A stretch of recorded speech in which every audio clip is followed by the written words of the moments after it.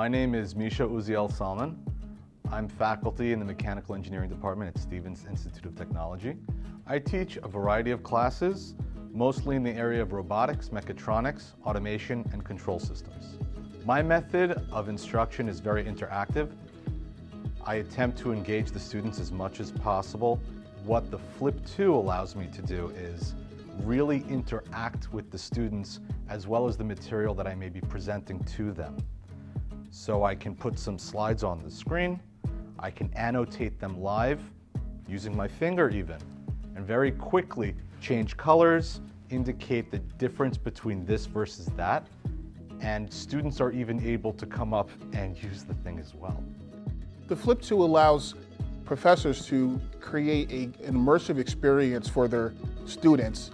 It also helps and fosters collaboration between students that are remote and those students that are in the classroom.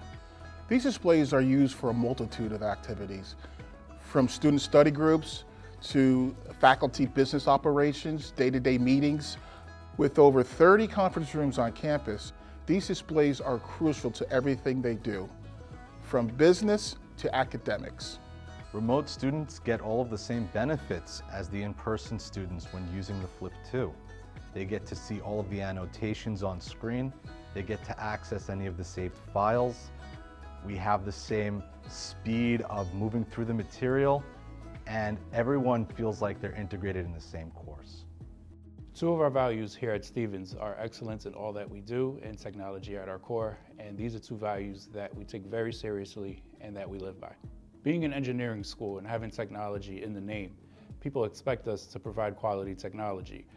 We're not just looking for a wow factor, but we need it to be functional as well.